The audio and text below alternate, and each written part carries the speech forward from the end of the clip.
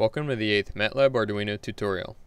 This video will cover how to read and visualize real-time distance data from a Ping ultrasonic rangefinder. The distance measuring sensor we will be using is the Parallax Ping, a low-cost dual transducer ultrasonic rangefinder. Here's the pinout. Connect VDD and VSS to the plus 5 volt and ground pins of the Arduino, and the signal to pin D7. This ultrasonic sensor communicates using positive TTL pulses, outputting the total time that the ultrasonic bursts leave one transducer, reach a reflective object, and the returning echo is picked up by the other transducer. Compared to a single transducer rangefinder, the dual transducer ping ultrasonic rangefinder features a much smaller minimum distance of 2 cm, finer resolution of 2 to 3 cm, and a maximum distance of 3 meters, half of the sensor range shown in tutorial 7. As shown by the beam pattern, the ping sensor cannot accurately measure distance to an object that has its reflective surface at a shallow angle so that the sound will not be reflected back towards the sensor, where the object is too small to reflect enough sound back to the sensor. Let's look at how to interface this sensor with the Arduino. First, define the digital pin constant that is connected to the output of the sensor, as well as the variables mode, distance, and duration. The setup serial communication code remains unchanged from the first tutorial.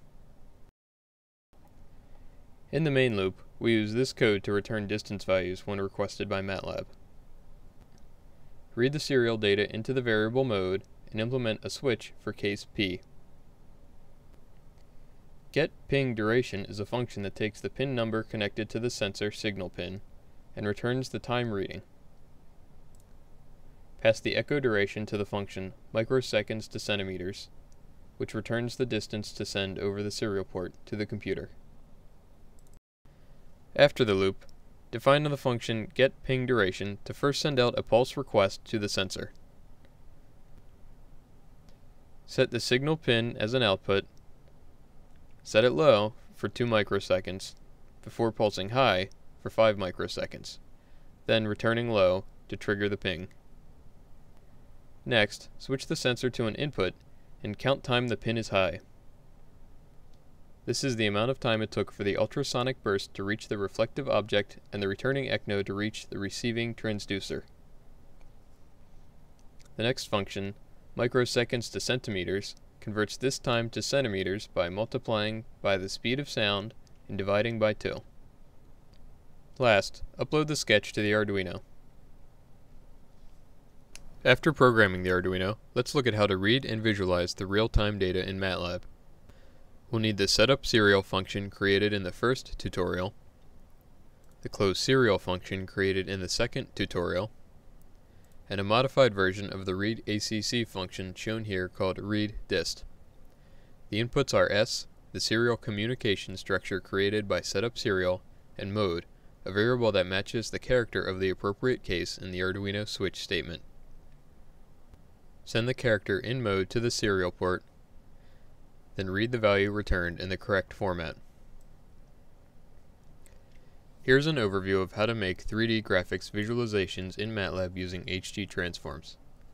First, create an axis and adjust the view for 3D. Second, create surface objects to form different shapes.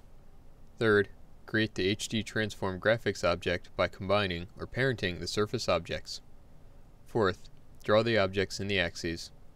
And fifth, manipulate the position, rotation, and scaling of the graphics object using sensor data. Put this all together in the animation 3d.m script to read distance data and animate a visualization.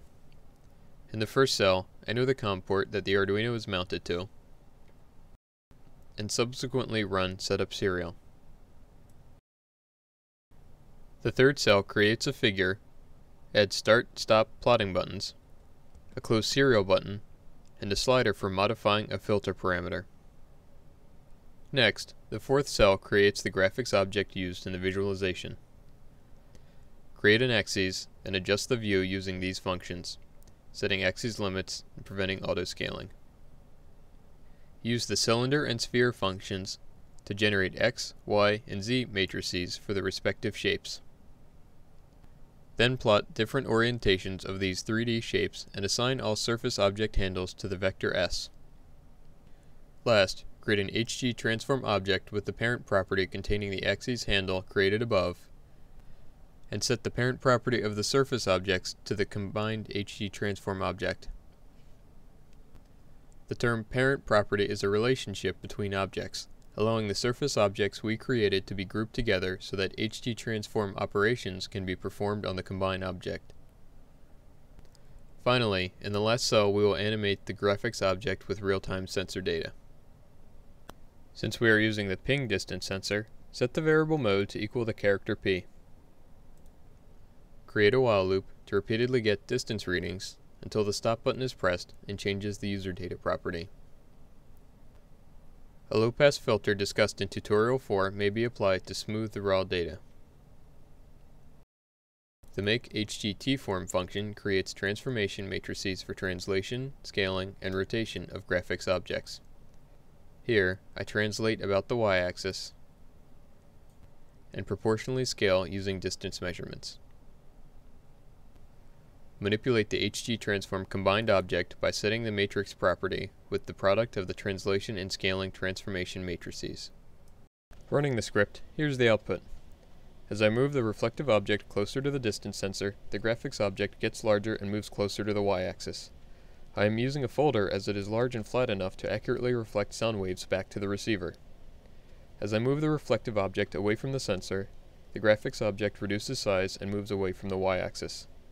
Note how the minimum distance of the ping rangefinder allows the object to be measured in such close proximity to the sensor with good resolution. Decreasing the filter coefficient greatly minimizes the noise, effectively eliminating any jitter displayed by the graphics object when the reflective object is held at a constant distance from the sensor. Movement animations are also smoother, though at the cost of additional lag with heavy filtering. The effective translation can easily be seen from the side view,